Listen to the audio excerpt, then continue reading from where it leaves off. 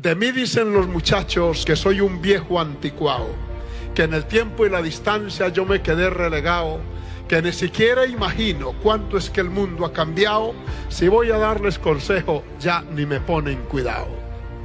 Doy reversa en mi recuerdo, llego al tiempo en que fui criado, apenas si yo era un sute y ya me tenían alineado, inculcándome un proverbio que nunca se me ha olvidado, árbol que crece torcido ninguno lo ha enderezado.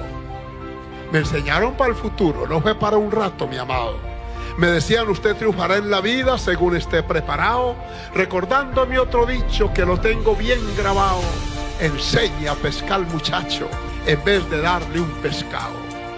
En aquel tiempo les cuento, si uno andaba enamorado, había que pedir permiso y estar bien calificado. La visita era en la sala, eso sí, bien vigilado y tampoco era muy larga porque el tiempo era contado.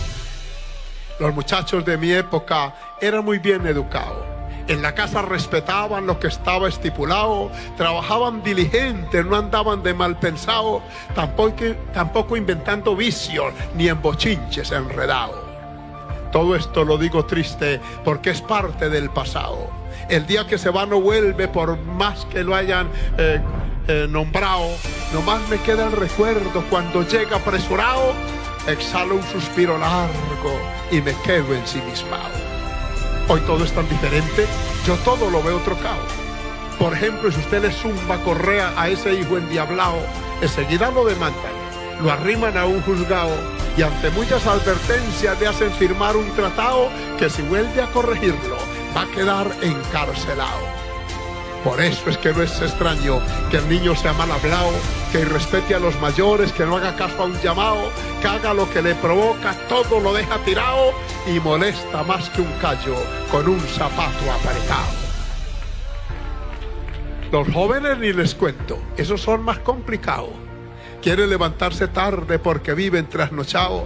Se pasan toda la noche en una esquina parqueado o frente al computador con programas censurados se escapan con los amigos y terminan enfiestados.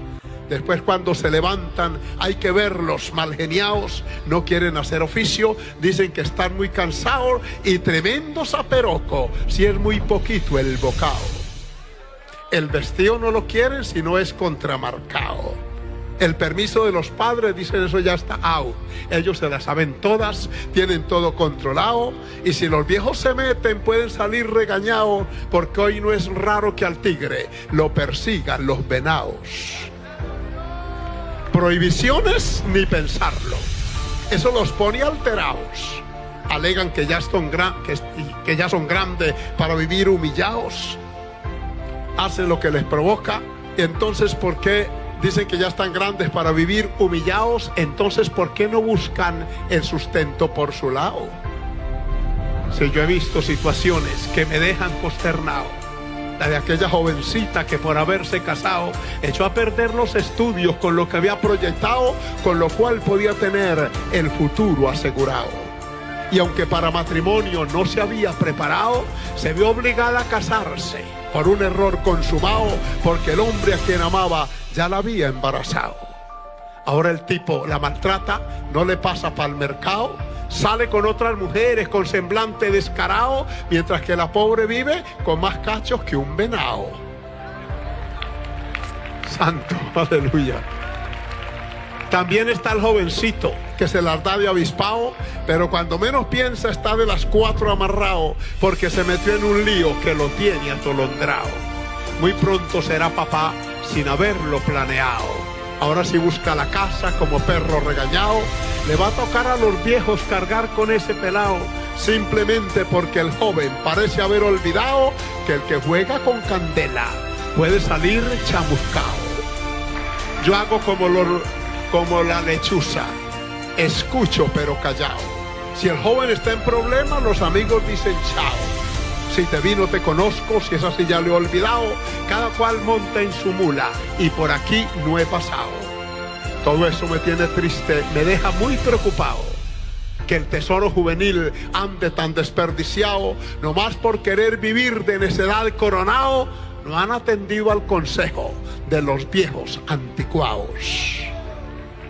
Antes de cerrar mi charla, quiero entregar un recao. Es el mismo que escribiera Salomón en el pasado, escrito con la experiencia de después de haber saboreado los placeres de esta vida hasta terminar hastiado. Acuérdate de tu Creador antes que hayan declinado los años de tu mocedad, tus capítulos dorados, cuando esa flor en capullo con perfume delicado, por el calor de los años, al fin se habrá marchitado. Cuando se apague tu luna y tu sol se haya eclipsado, cuando el vigor y la fuerza te hubieren desamparado, ya no escucharás el canto que te hubo deleitado, sino los tétricos pasos de un visitante anunciado. Encomienda tu camino al Dios que tanto te ha amado quien en prueba de su amor su propio Hijo entregado, siendo Él tu sustituto, fue herido y menospreciado, si le recibes con fe, tú serás justificado. Aleluya. Amén. No te confíes en tu fuerza, que su aliento es limitado. Planta tu buena semilla en el terreno abonado y hacia el final de tu vida feliz habrás comprobado que cada uno recoge lo que en la vida ha sembrado. Amén.